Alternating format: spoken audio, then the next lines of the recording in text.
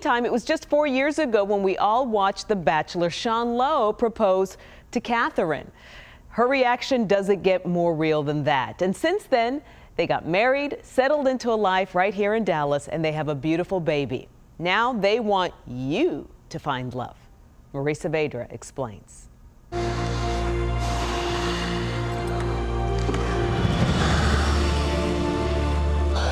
They fell in love on TV.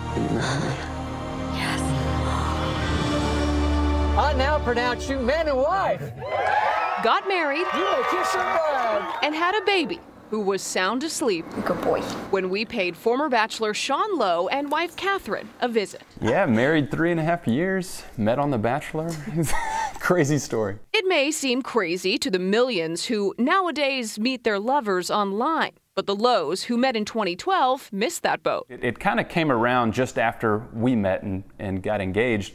So neither one of us were ever on a dating app, and in a weird way, it's almost like, oh, we kind of missed out on this experience. Scroll up. So they found a new way to get into the game by co-founding a dating app that takes matching to another level. And it's called Vouch. And so you're really vouching for people that you think would be great partners. If you're single, you sign up, then invite close friends and family to join as your vouchers. They get a look at the potential dates, and if the vouchers for both people swipe right on each other, a match is made. So I imagine there's probably a lot of moms out there who are thinking, you know, my, my son or daughter's been single for way too long.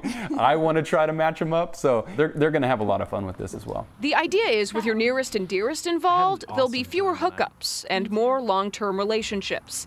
Something not all of today's dating sites and apps are known for. Still, they do big business. Finding love online is a $2 billion industry that 15% of Americans have used. So far, 5,000 people in Dallas Fort Worth are using Vouch. And there are a lot of girls on there. So, guys, sign up right now. There's hmm. just your pick of the litter right now.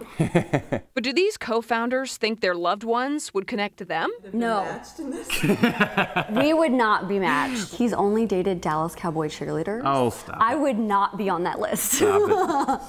but you never know who might be the right fit. And that's what Vouch aims to prove that the people you know best could find the best person for you. I mean, we're the perfect example. There's no one way to find someone, no one way to find the, the person you're going to spend the rest of your life with. So, you know, it, it could very well happen on, on Vouch. In Dallas, Marie Saavedra, Channel 8 News.